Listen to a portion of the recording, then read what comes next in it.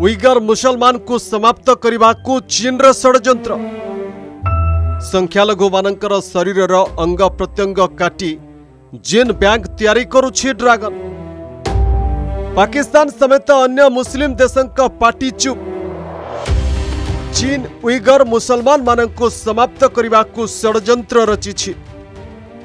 कार्यकारी रचि को काम जोरसोरे आरम्भ गरिदि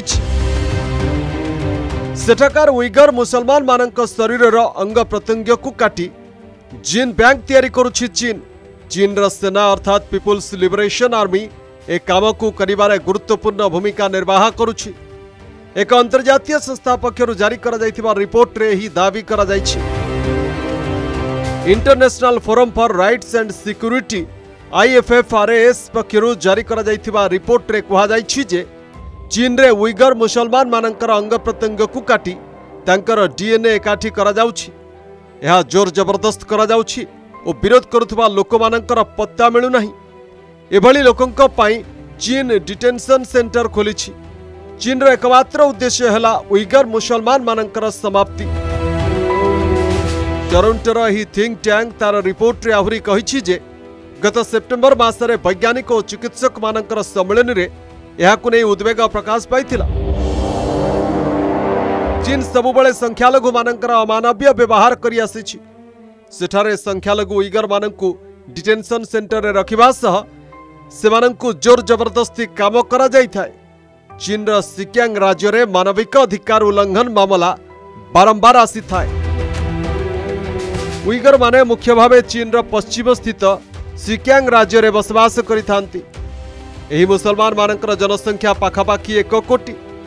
ଗୋଟିଏ ସମୟରେ ସେମାନେ ଏହି ଅଞ୍ଚଳରେ ସଂଖ୍ୟାଗରିଷ୍ଠ ଥିଲେ ମାତ୍ର ଚୀନ ଧୀରେ ଧୀରେ ଏ ଅଞ୍ଚଳରେ ସେମାନଙ୍କୁ ସଂଖ୍ୟାଲଘୁ କରିବାରେ ଲାଗିଛି ଏ ଅଞ୍ଚଳରେ ହାନ୍ ଜାତିର ଲୋକମାନଙ୍କୁ ଚୀନ ବସବାସ କରାଉଛି ଫଳରେ ହାନ୍ମାନଙ୍କର ସଂଖ୍ୟା ବଢ଼ୁଛି ଓ ଉଇଗରମାନେ ସଂଖ୍ୟାଲଘୁ ହେଉଛନ୍ତି ଚୀନ ଏମାନଙ୍କୁ ଦମନ କରିବା ପାଇଁ ତାର ସେନାକୁ ଲଗାଇ ଦେଇଛି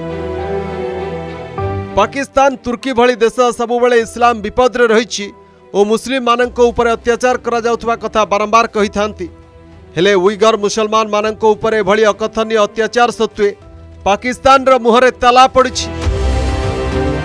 ପାକିସ୍ତାନର ଆର୍ଥିକ ସ୍ଥିତି ଦିନକୁ ଦିନ ଦୟନୀୟ ହେଉଥିବା ବେଳେ ସେ ବର୍ତ୍ତମାନ ଚୀନର ଅର୍ଥରେ ତାର ଅର୍ଥନୀତିକୁ ବଞ୍ଚାଇ ରଖିଛି ତେଣୁ ଇମ୍ରାନ ଖାନ୍ ଭଲ ଭାବରେ ଜାଣନ୍ତି ଉଇଗର ମୁସଲମାନମାନଙ୍କ ସମର୍ଥନରେ କହିବା ଅର୍ଥ ହେଲା